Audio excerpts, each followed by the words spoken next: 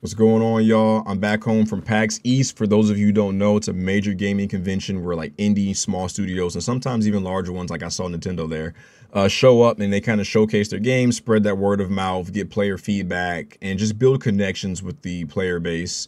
And it's an awesome experience. There's a lot more than just that, uh, but that's kind of that's the meat potatoes of it, in my opinion.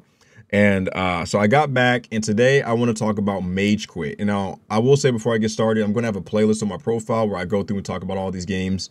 Um, but nonetheless, Magequit seems like a really cool game. Uh, I think it'll be great for communities. You can have up to 10 players, and you can mix in uh, bots if you don't have enough for a full 10. You can play it on Xbox, you can play on PC, and you can play on Switch.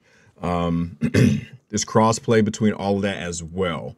And I thought that was really cool. You can also do couch co-op is what it's called, where you can have like a buddy playing with you at your place. And then if you want to go online, you can go online with your buddy and still play up to 10 people. It's a top-down arena fighter game. So like you don't have to worry about split screen because it's just one big screen. So they just have to, you know, you just have to watch your character and they watch theirs.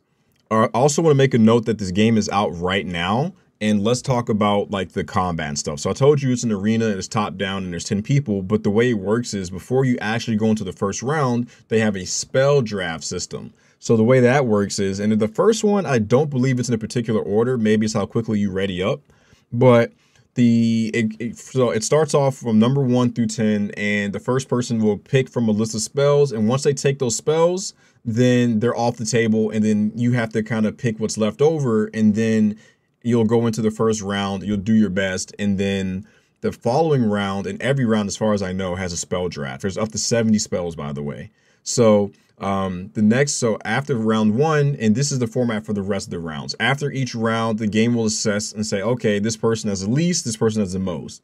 And the person with the least amount of kills will get to pick from a spell to, uh, you know, beef up their kit a little bit. And then whoever's last will just kind of have to pick what's left and make it work. And that's kind of cool because if you're not so good or maybe you had a bad start, it's just a quick way to kind of rebalance things in your favor. And if you're really good, then you just kind of you have to make it rock with what's left over and just do your best. And it's kind of like, you know, a testament to your skill. Um, as the time progresses, there's different um, there's different abilities you'll unlock. So first round, before you even start, you get your primary, which is just whatever button you're going to be spamming. You get a secondary, which is the same. Also, keep in mind they're all on cooldowns. And then you have like utility spells, which are like things that are like convenient spells that can link into your primary. Like maybe use a vine whip and pull somebody into you, and then you hit them with like your melee spell. And you hit them with an uppercut or whatever, and that's really cool. You have your ultimate spell. You have movement spells, so maybe you want to teleport around the map, or maybe you want to do like I picked like a lunge. So what I could do is I would use my uh, my movement spell to lunge into my opponent and then hit them with like an uppercut or something like that, and it was really cool to do that. Um, so that's kind of how the, that's the premise of the game, where each round you get your spells and you kind of build your kit as you play. Um, you can try to go for a pure element if the others don't take it, but you know it's just you kind of just kind of you build as you play. So it should be unique just about every single time you play.